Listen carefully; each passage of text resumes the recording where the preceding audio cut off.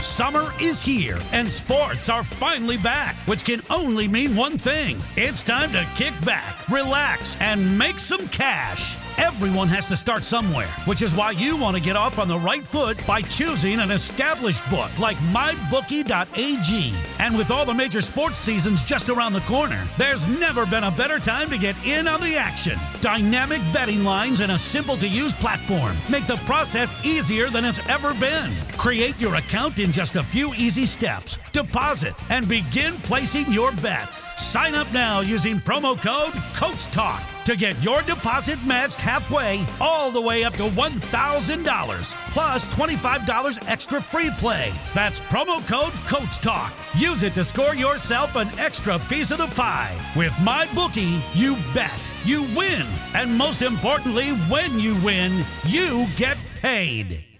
Hello and welcome to DFS Coach Talk. I am Joe Sarvadi, affectionately known as Coach and I am here with my partner in crime, Mr. Andrew Hanson. And we are here on this wonderful Wednesday, July 22nd, to go over this week's PGA tournament event. So we are fired up for that. How are you doing this hump day, Andrew?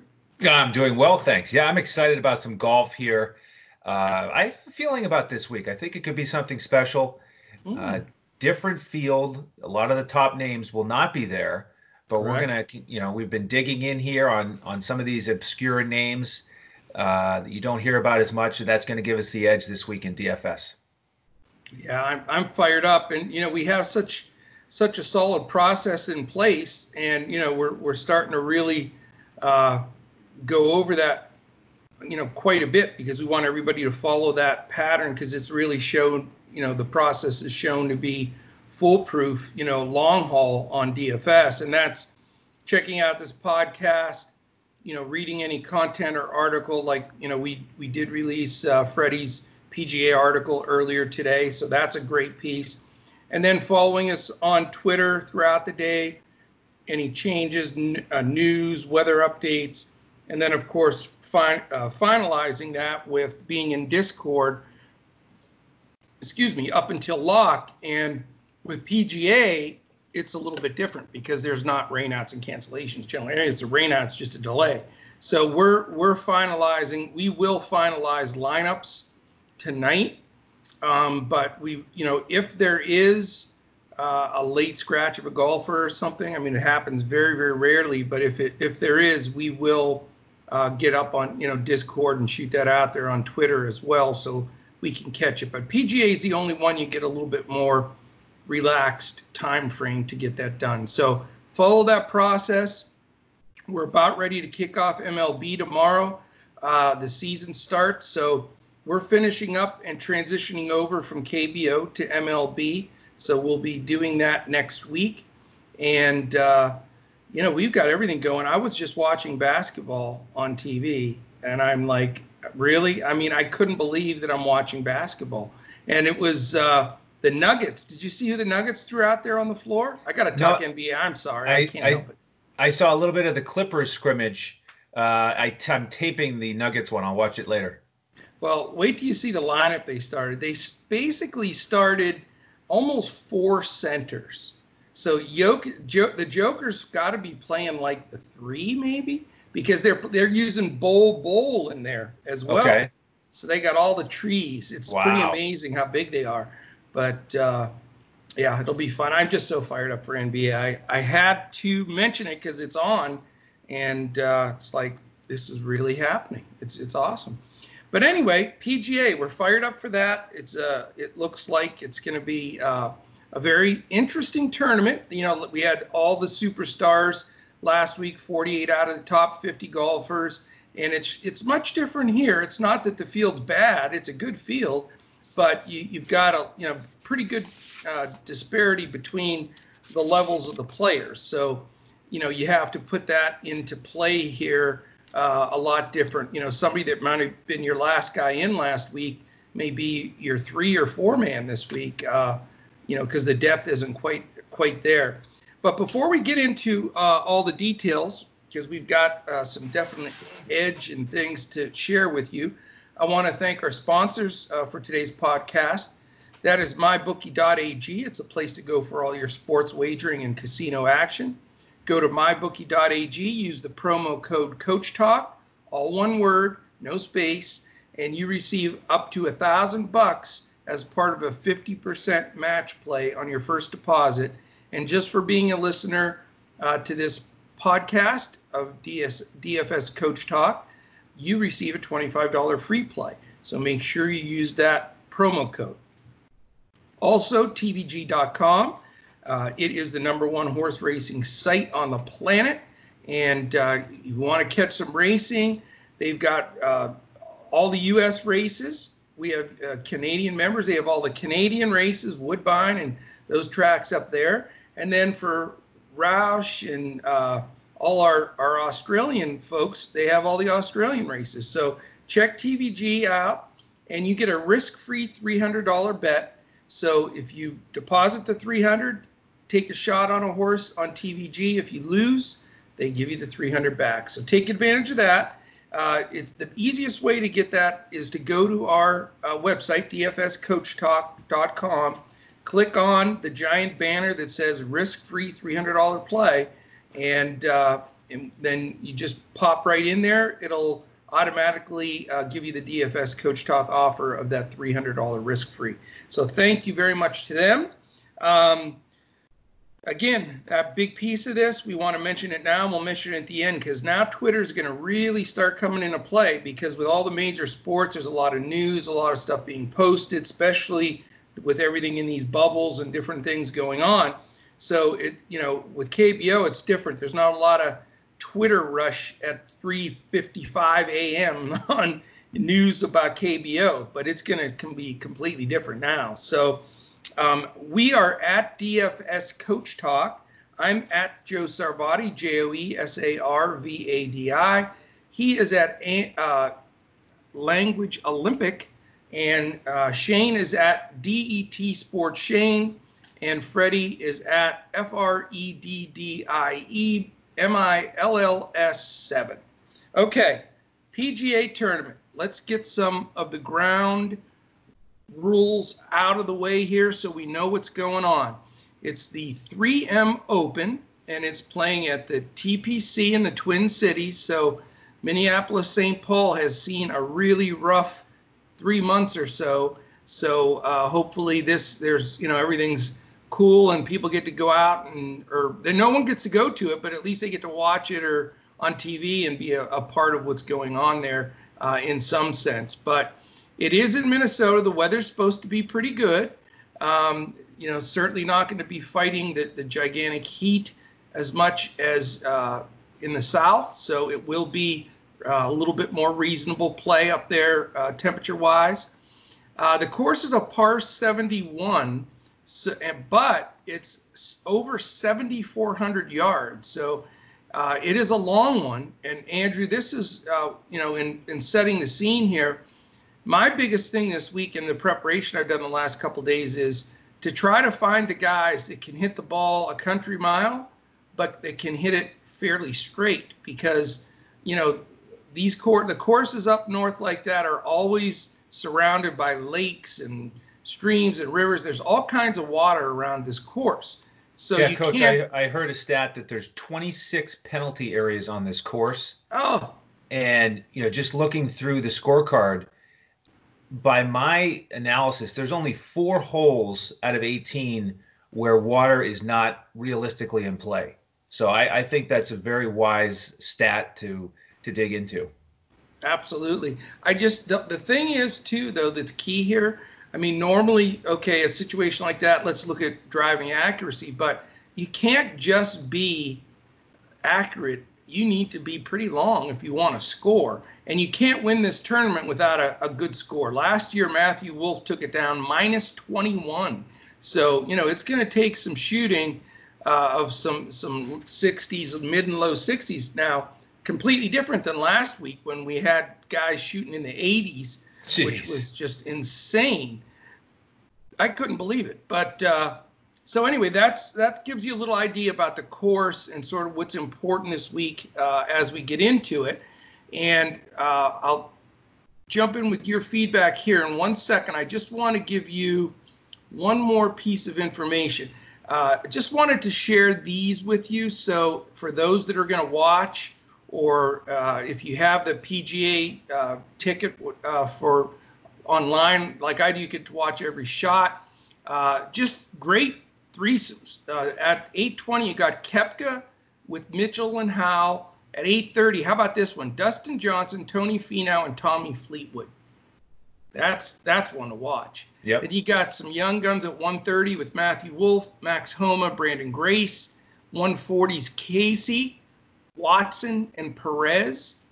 Uh, the eight other 8:20 a.m. You got the defending cha- champ Wolff with Max Homa and Branden Grace, and then uh, there's a couple other really good ones uh, also, but those are the main ones I wanted to bring up. Um, I mentioned Wolff and one twice. They have them here. Oh, okay, that's Friday. They're they're 1:30 on Thursday, 8:20 on Friday. So I haven't seen any weather issues being. Is it going to favor morning, afternoon, afternoon, morning? What have you seen? Yeah, I just saw Thursday is going to be a little bit cooler in the 80s, no weather whatsoever. And then Thursday, uh, sorry, Friday, Saturday, Sunday, maybe you know 20 to 30 percent chance of thunderstorms. It will be kind of muggy, uh, low 90s. So it'll be hot, uh, but doesn't look like any major advantages on the Thursday, Friday tee times. Uh, 80s or low 90s here in Dallas, we'd have to put a jacket on right now. yeah. Let's just. so very interesting. Yeah, that's all good stuff, and I and that's what I saw too. Because sometimes that's the the key to these things is trying to catch the right weather guy. The morning afternoon thing we've talked about it multiple times, but I don't see that being a factor uh, in this one. So anyway, uh, couple, one thing I, I want to dig into some of the main stats that you studied for this sucker, and then we'll go over the the the mybookie.ag odds to win it a little bit. But I'm gonna I want to give you my stat of the week, and this normally I, I look at about three main stats to go by. Like I'll really try to choose the main issue of the week that I think is the most important to, to be strong at. And you know, there's a lot you can look at, but I usually try to get to down to about three. I'm I have it down to one this week, Andrew. Okay. I am I am looking at total driving, and the reason I am is it, that tells the whole story. If you're long and you're straight, that is going to give you a good rating in uh, total driving. And I really do think that's the key. I think everybody's going to be making putts. It's going to look like the holes, you know, gigantic after this past week where you couldn't, you know, touch the ball and you missed a, a putt. So uh, to me, it's it's it's getting from the tee into a position where you have a wedge and then you can make a putt. That's that's what this is going to all be about.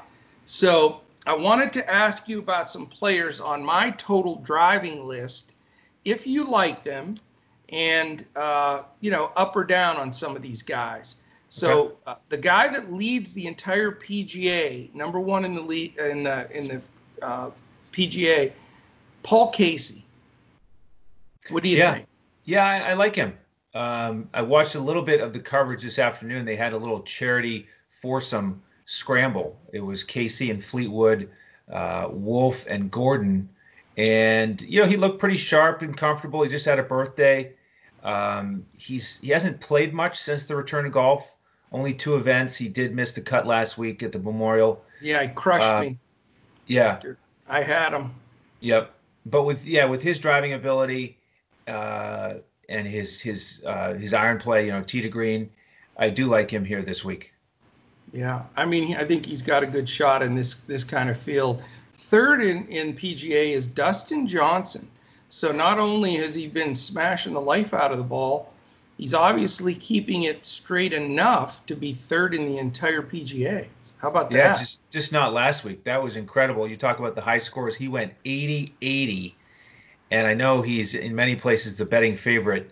Uh, pretty shocking that he could play that poorly for a guy who's that good, that talented, drives it that well.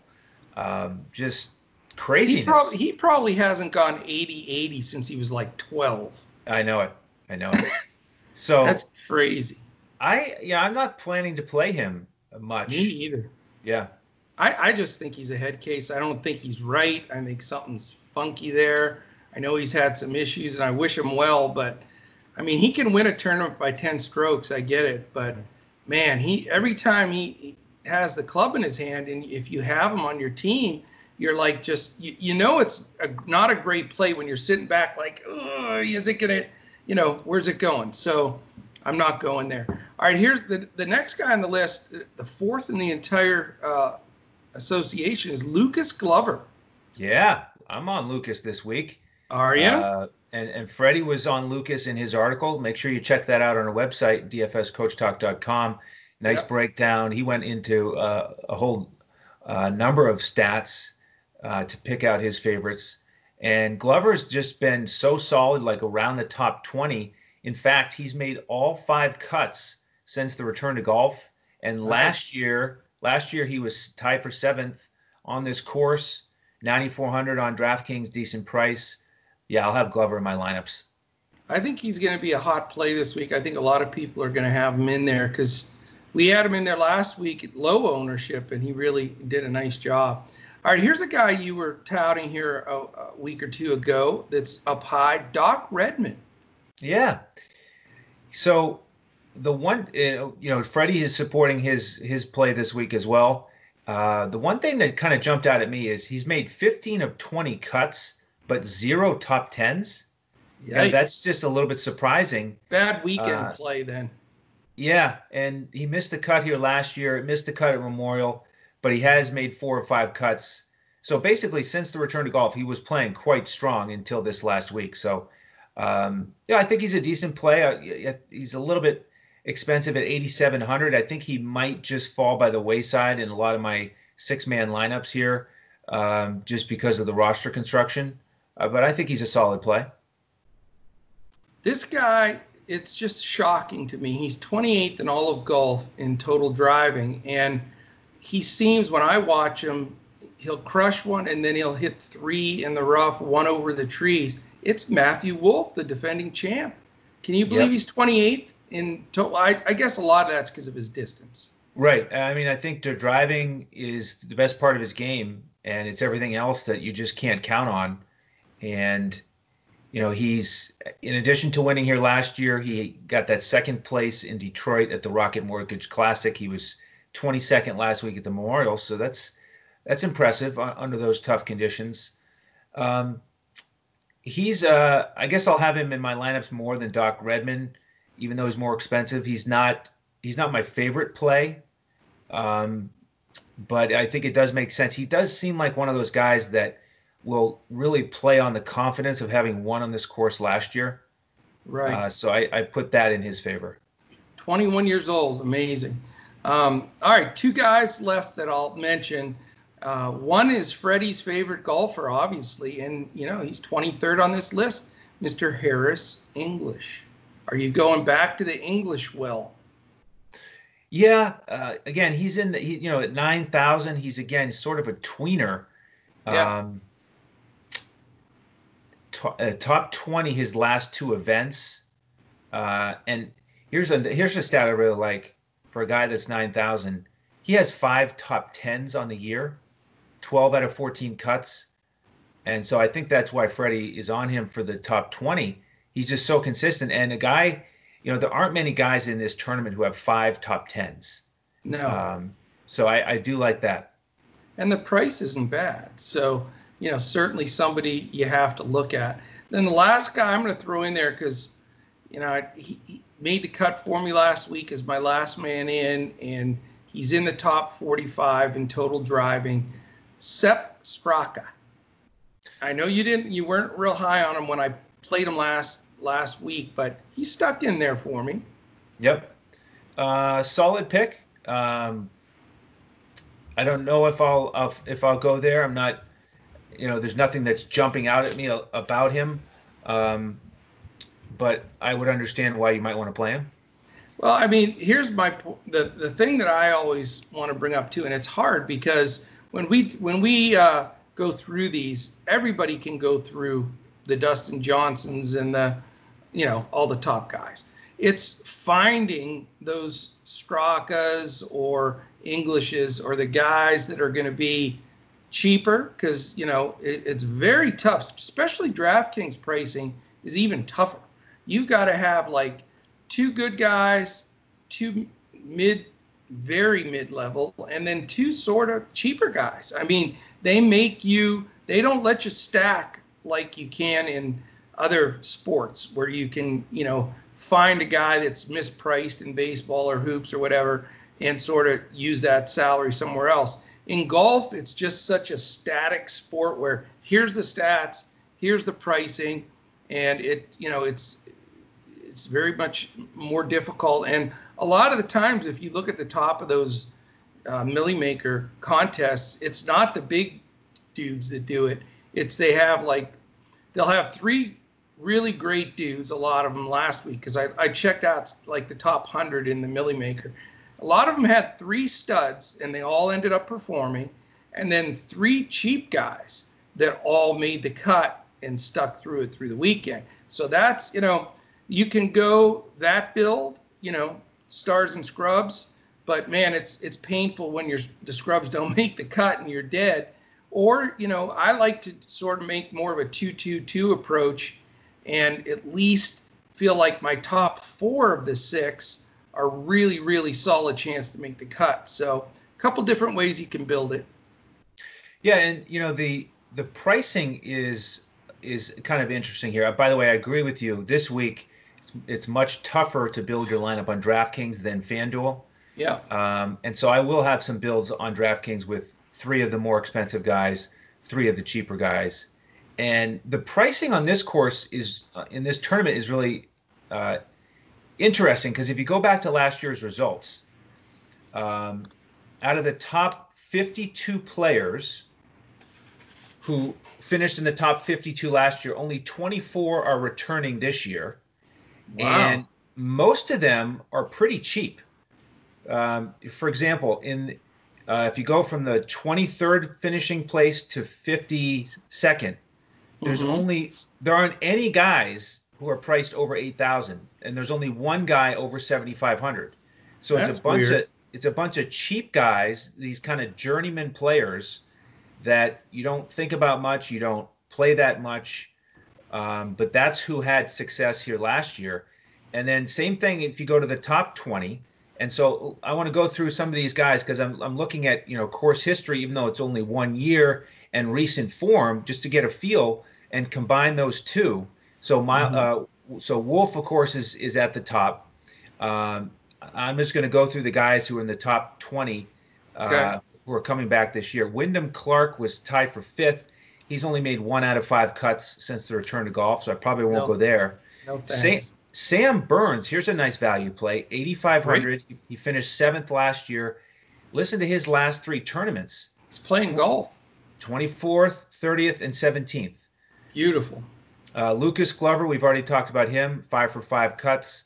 Brian Harman, who I like to play, he's only 8,000, but he's missed his last three cuts. He mm. tied for seventh here last year. And then Troy Merritt tied for seventh. He's only 7,500. Uh, he's made four of, of six cuts since the return of golf, including an eighth and a 22nd. Mm-hmm. Uh, so you could go there. Fabian Gomez, uh, he tied for 13th. He's 6,300. He's only made one of three cuts. Scott Brown, similar, 6,300. He's only made one of four cuts. Scott Piercy tied for 15th here last year. He's only 7,000. He's made 12 of 15 cuts on the year, two of three nice. cuts since the return to golf.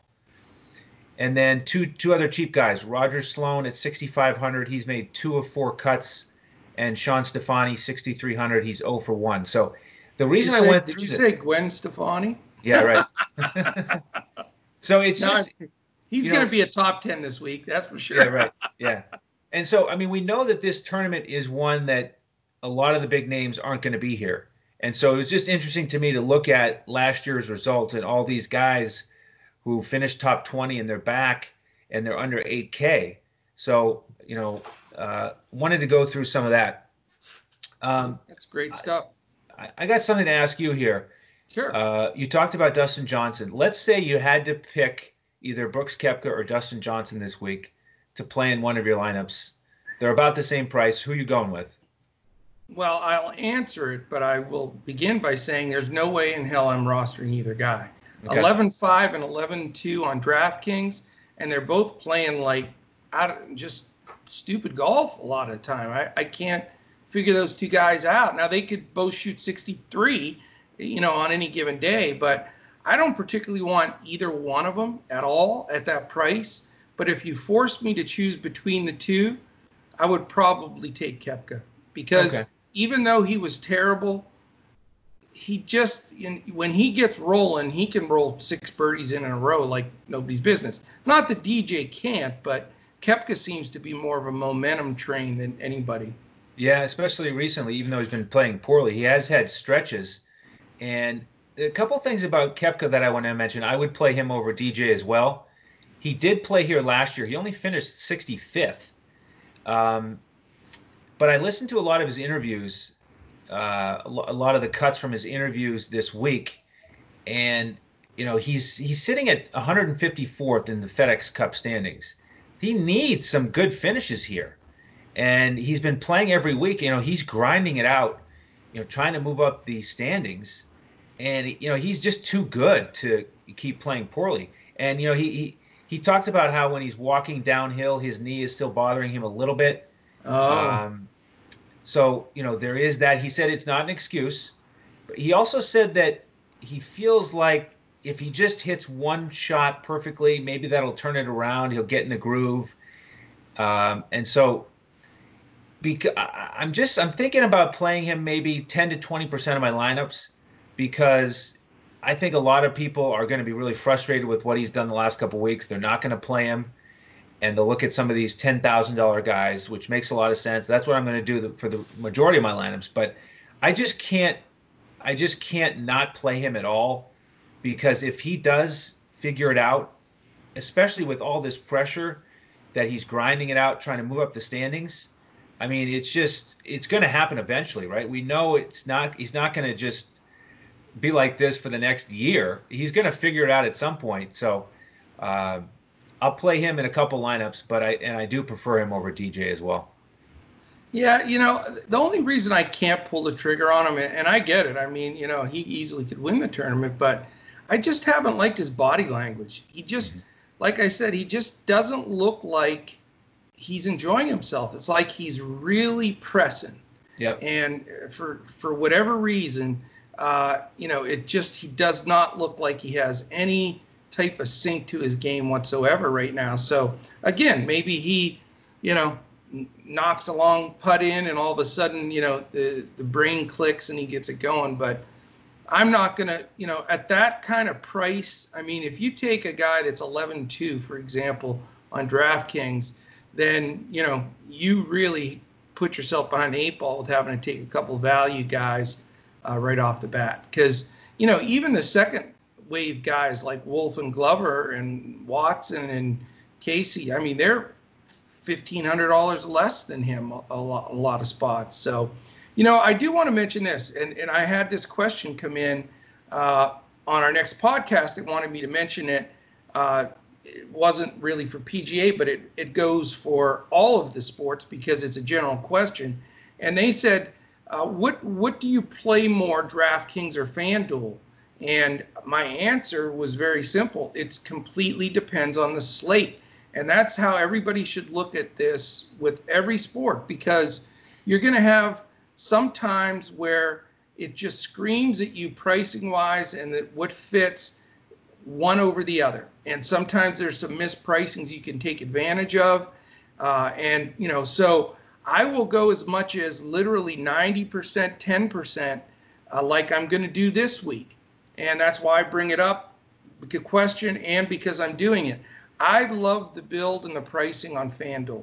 I'm going to hammer the living daylights out of FanDuel, play a little DraftKings, but mainly FanDuel. Now, you know, it could be completely different next week. So my point is, you know, and, and to answer that question, uh, that that's what you have to do. You have to look at the slate, the situation, and the pricing because they they are going to vary, especially you know all of these folks setting this, these prices for for DraftKings and FanDuel, they have to figure out how's this going to affect the bubble going to affect people.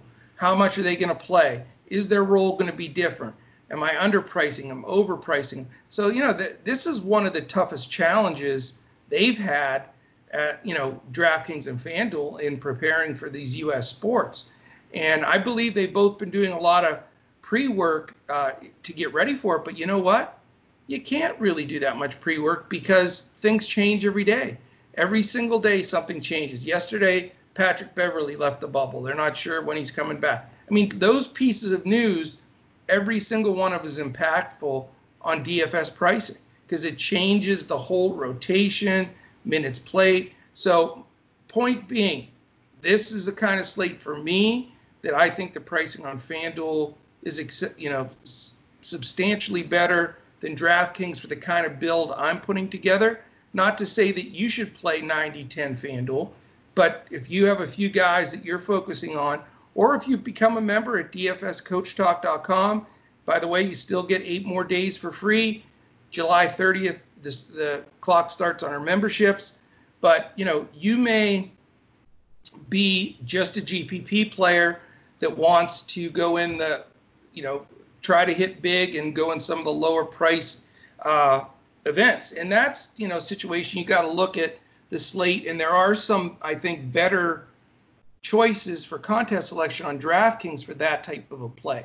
But for me, I'm more of a cash player, and I like uh, some of the small, like single entry, hundred dollars, those kind of events where you can still take down a good chunk of money and you know use what I think I've got is about five guys.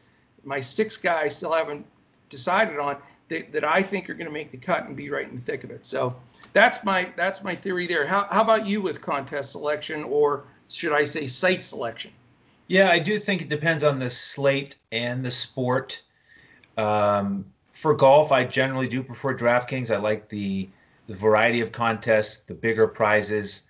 And in fact, I got a little bit surprised this evening. I was looking at FanDuel, their, you know, the the big top prize of like thirty thousand, entry fee of like nine dollars, I think it was. It was already full. I couldn't believe it. So, wow. Uh, l- lesson learned on that. So I'm going to have to play more on DraftKings this week.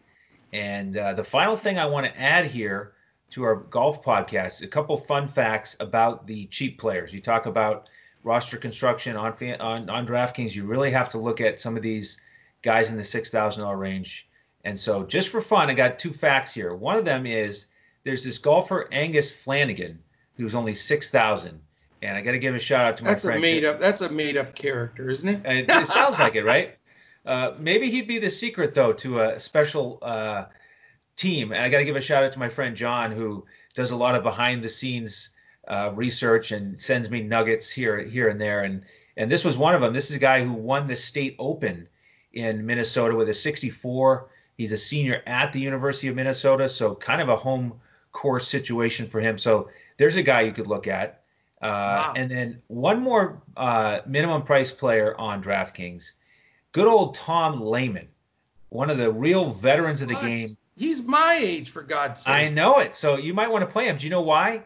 He has been involved in redesigning this course. I know he has. So he knows it like the back of his hand. It's an Arnold Palmer course, and, right? And he and Lehman spent a lot of time, and he turned it over to Lehman to reconstruct. You know, Lehman's really good. He's he's getting involved with a lot of course uh, reconstructions. Uh, he's he's an interesting uh, interesting setup. But I'll tell you what, if you look at Lehman's stuff, lot of lot of uh, trouble he likes water, yeah. uh, sand, all kinds of trouble. He likes, uh, I think, people to have to be accurate. So sorry. And yeah, well, the thing is, he made the cut here last year, so we know he can do it. Uh, so just something to keep in mind if you're looking for a six thousand dollar player. I don't have the courage to do it, but I, I didn't I think like, you would. I like the sentiment. In a cash lineup, if I'm sweating on yeah. I'm in deep doo doo. Yeah, but I hope got, I hope he makes it. I always yeah, root got, for the older guys. You've got plenty of courage, but this is in terms of a uh, a selection for a, a DFS lineup. This does feel more like an Andrew play in a GPP than a coach play. Without question, no doubt about it. Um, all right. Any other statistical things you want to slice and dice? I'm good to go. You're you're done, huh? Yep. Um, let's go to the mybookie.ag, and I'm not even going to bore our listeners with quizzing you because you win every single time. But we'll just let's just chit chat about this a little bit because the odds don't lie, and you know you generally go back if you look at the odds going into the tournament. A lot of the top 20 finishers are in this first pool of 30 or 40 guys. So it is key to know uh, what you're dealing with here. So we have uh, Dustin Johnson plus 900, which is pretty good favored. I know. Gunslingers out there. Koepka, your man, plus 1200. Here's a guy that fell apart the other day. Holy Toledo. Tony Finau. The wheels yep. came off that bus. That was ugly to watch. Yeah. Uh, I think he'll be pretty popular this week, though. I do too. I mean, you talk about total driving. The guy can absolutely crush it. Uh, five top tens this year. So that we'll just see if he can rebound. It was a final round 78 on Sunday, so that'll be the mental challenge he's going to have to overcome. I mean, a lot of people shot those numbers, but watching when he shot it, it was like literally wheels off. That's yeah. it's like what happens to me on the golf course. As soon as I hit one out of bounds or something, I, I just can't pull it back together. Uh, here's a guy that I absolutely love, but I don't know if he's hit a golf ball in four months, and it's Tommy Fleetwood. Yeah, he's I'm excited so about Tommy. Good. Oh, I, like I love Tom. his game. Yeah. Um, it's fun to watch him a little bit in that uh, exhibition this afternoon. I will have some exposure to him. He's just too good. Uh, you know, he's two top tens, made seven of eight cuts, so consistent, great ball striking. Um, so I, I, certainly will have him uh, this this weekend.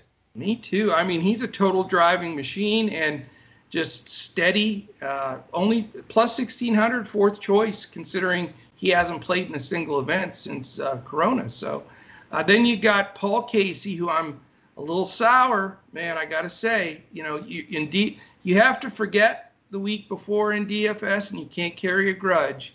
But I have a slight grudge. It's only Wednesday, so I need to just forget about Casey just not making the cut last week. He's this this course could play into his hands. There's no doubt.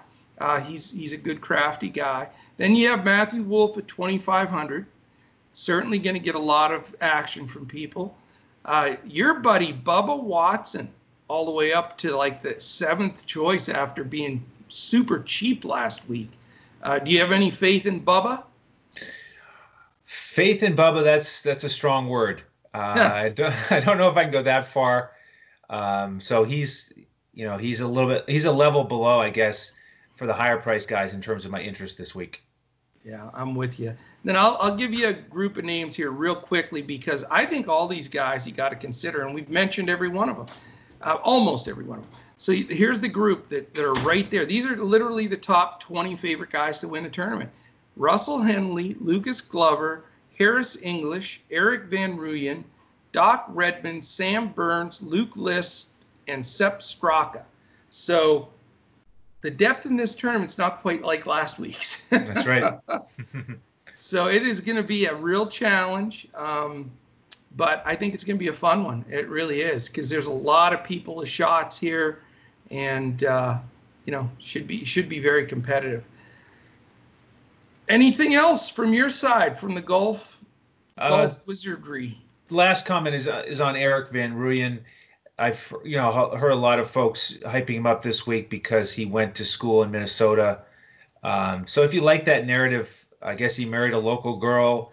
You know this this is sort of a, a good vibes for him.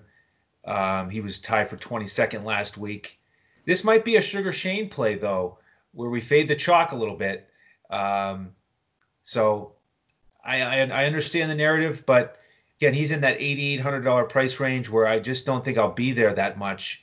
Uh, I think I will have a little bit more stars and scrubs on DraftKings, so uh, that'll be a fun one to, to see is just how much ownership he gets and if it pays off or not. Yeah, this is going to be a fun one. There's no doubt about it. Now we'll be uh, posting this podcast It'll be out early evening, so you'll have all night to listen. Uh, then uh, probably around 10 Eastern, 9 Central, you know, maybe 9:30, somewhere in there. We'll post uh, in Discord. I'll be posting my full FanDuel lineup, and uh, Andrew will be uh, posting the, the coaches core group for DraftKings. And uh, so, you know, you want to definitely jump in Discord uh, to catch that. And then uh, it looks as though no KBO tonight because they're having like a typhoon in Korea. So we're, we're going to get a, actually sleep so we can get up and watch um, golf in the morning. And gotta love that. And then Major League Baseball tomorrow night starts, and then the NBA's a few days away. Uh, check out, uh, you can check out a lot of these NBA scrimmages on NBA TV too. So it's never too early to scout that stuff as it's right on the doorstep now. And then tomorrow, podcast wise, it'll be Andrew and I. Hopefully, the the uh, typhoon has left Korea and we're able to get back into some KBO because this is uh, stopping our hot streak. We've been hitting some stuff, and now this all this rain is is uh, taking care of things. Last night was painful because uh, it went from five to, to three, and then thought that's okay. We just need these two, and then it was two, and then all of a sudden somebody says uh, they're all they're not playing only one's playing. And i'm i refused i'm the conspiracy theorist so i was scouting around trying to find where maybe two games were playing. I started building another lineup. I refused to give up. And, then, and then finally you, you must have seen me on there scouting around because you said give it up coach. Yeah it, it ain't happening. Right. Yeah i saw the second source. I had two sources confirm it so i was finally comfortable because I was doing the same thing, you know, just in case you never know. Uh, but sure enough, only one game played. So yeah, unfortunately, we got so much rain over there, but we'll get back after it tomorrow. Absolutely. And as you can see, I'm back in the light. I'm actually out of the corner of my room where I was dark and yellow for the last podcast, feeling better. Again, thank you for everybody for all the great well wishes too. Definitely helped uh, to expedite feeling better. So, all right, uh, we want to mention our uh, charity of choice, mambaon3.org, M A M B A O N T H R E E.org. A great, great charity set up uh, by the uh, Bryant family. Check out our website, dfscoachtalk.com. This is the time to jump on. Uh, you know, we will be providing end of KBO and then transition into MLB, uh, certainly PGA every week, and then our key sports of NBA and uh, NFL is not that far off either. So we got all kinds of stuff happening. Uh, we're really excited. We'd love to have you join the fastest growing community in the DFS industry space. Uh, so come in, check us out, and uh, and that's really about it. Any final words? No, thank you all for listening, and let's get after it here for a big PGA weekend. Big PGA weekend. Uh, and reminder, no Friday show. We're now doing PGA just on Wednesdays. So if you need to reload, you know, get in Discord with us. We'll chit chat about some uh, some picks going into the weekend. But you know, take these and and hang on to them for some of the ones that we mentioned that make the cut. You, you know, if you do need to reload Friday, just you know, use some of those guys again. Uh, and sometimes that pays off. That's sort of been my pattern lately, and so I'll I'll take what you take what you can get. That's so, right. excellent. Have a great uh, evening, uh, and we'll catch you tomorrow for uh, some KBO uh, podcast action.